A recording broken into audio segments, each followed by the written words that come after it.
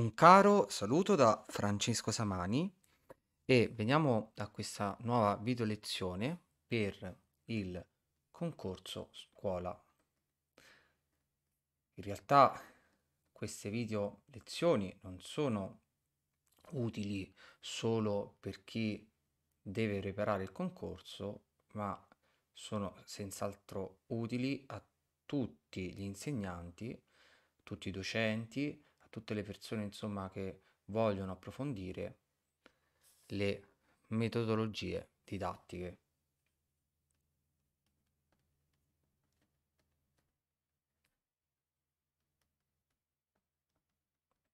E come avrete già visto, parliamo del concassage, una tecnica, una metodologia è una metodologia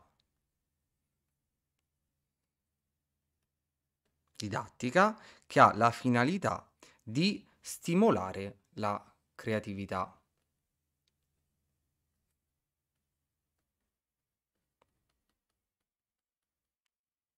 Allora, dopo fare, proporre una introduzione a questa metodologia, perché il forte, il forte impulso degli studi sulla creatività ha inizio dagli anni, dal 1950. Allora, studi sulla creatività come data potete prendere il 1950 perché precedentemente in realtà pochi ricercatori avevano percorso nuove strade contrapponendo al pensiero logico le potenzialità dinamiche e produttive del pensiero creativo. Inoltre questi studi sono sicuramente stati favoriti dalle nuove conoscenze sulla mente.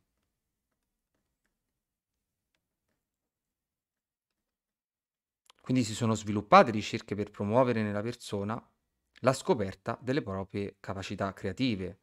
Allora sicuramente mi viene in mente Guilford, che nel 1950 pubblica un articolo Creativity in the American Psychologist, dove accanto al pensiero convergente, verticale, quindi quello logico-deduttivo, che aveva caratterizzato la ricerca scientifica del passato, individua un pensiero divergente.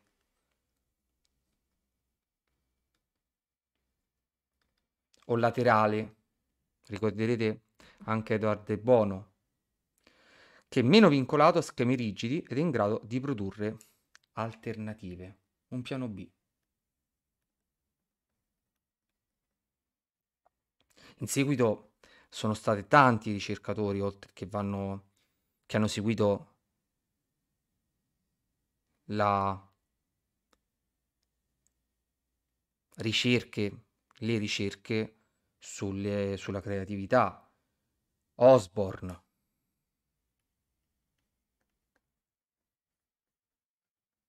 Ballas. Abbiamo prima citato De Bono. Vi invito anche a leggere i suoi libri. Ed è a questo punto importante anche provare a definire che cosa sia questa creatività, per poi andare a, ad analizzare la tecnica che una delle tecniche che stimoli, che possa stimolare la creatività, il concassage, che è descritta da Francesca Romana Gianandrea nel suo testo Creatività Forever. Allora, questa parola così importante, creatività,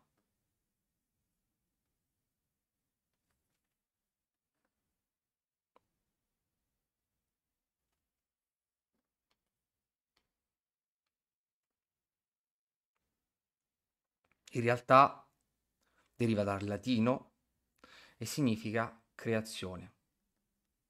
Creare qualcosa di nuovo. Però, se andiamo ad analizzare l'etimologia della parola, significa anche crescita, sviluppo, trarre dal nulla. Inoltre andiamo a vedere le caratteristiche della creatività. Essa sicuramente è legata al concetto di libertà,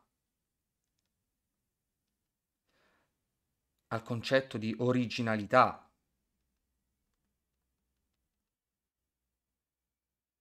al concetto di intuizione.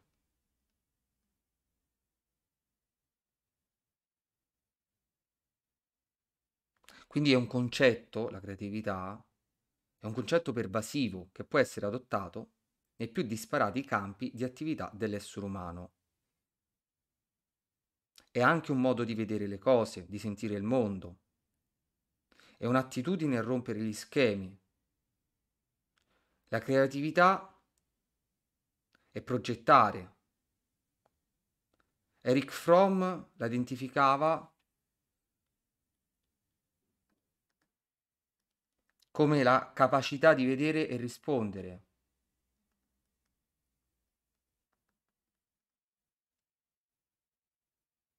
Poi ci sono tanti, di, tanti tentativi di definire la creatività da May, Gibran, da Galim- anche Galimberti. Ricordo quando disse è un carattere saliente del comportamento umano particolarmente evidente in alcuni individui capaci mh, di riconoscere tra pensiero ed, ed oggetti nuove connessioni che portano a innovazioni e cambiamenti. Allora a questo punto, dato che abbiamo gettato le premesse per parlare del concassage, abbiamo detto riprendiamo il discorso è una metodologia didattica, stimola la creatività. È una parola francese che possiamo tradurre in italiano con frantumazione.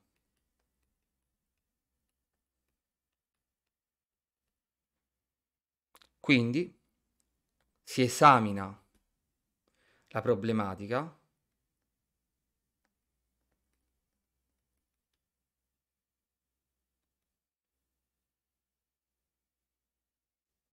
fino a cercare di risolverla da tanti punti di vista diversi ed insoliti.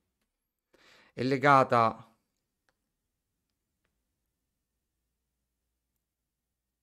alla ricercatrice Francesca Romana Gianandrea,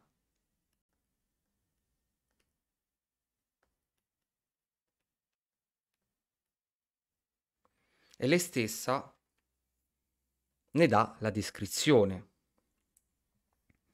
vi è l'animatore, in questo caso il, l'insegnante. Introduce la problematica, il problema di risolvere o l'idea da generare. Verifica che il gruppo, che la classe, abbia capito bene l'introduzione. Poi spiega vi è la spiegazione della tecnica.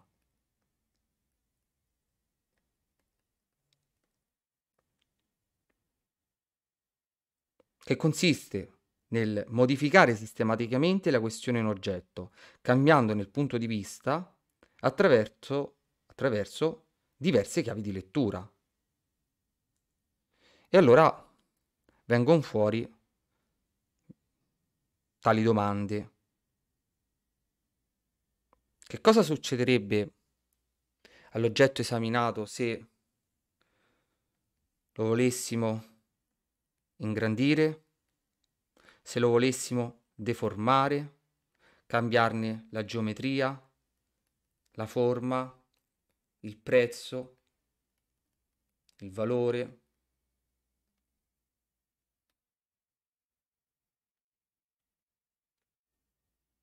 E ancora, cosa accadrebbe, al contrario, se volessimo diminuirne il volume, il peso, il prezzo, la durata, la quantità, il valore? E ancora, che cosa succederebbe questa volta se volessimo migliorare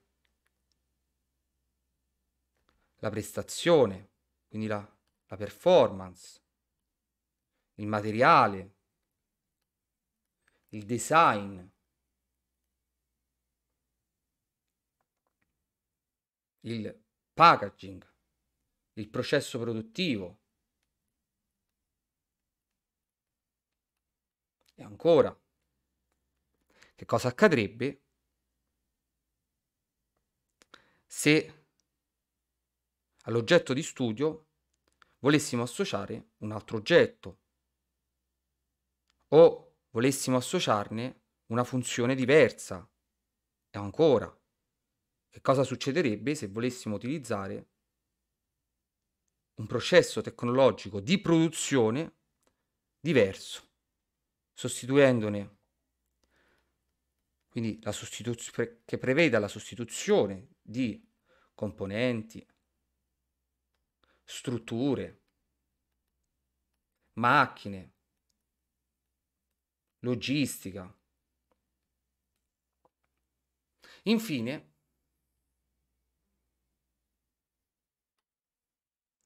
tutte le idee prodotte vengono annotate in una lista. Al termine l'insegnante legge alla classe, al gruppo di classe. Le idee simili o identiche, pressoché identiche, quindi le ripetizioni vengono eliminate oppure vengono sinergicamente accorpate. Infine si passa alla valutazione delle idee.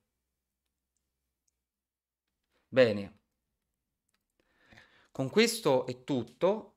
Spero di avervi dato una panoramica a 360 gradi del concassage, partendo dal concetto di creatività per arrivare agli studi della creatività, fino a darvi una panoramica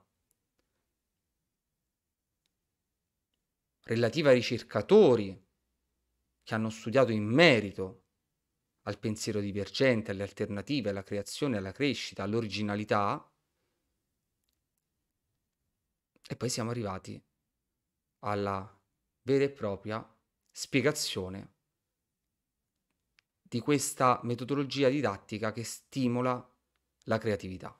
Bene, come mio solito ringrazio tutti, siete tanti, siete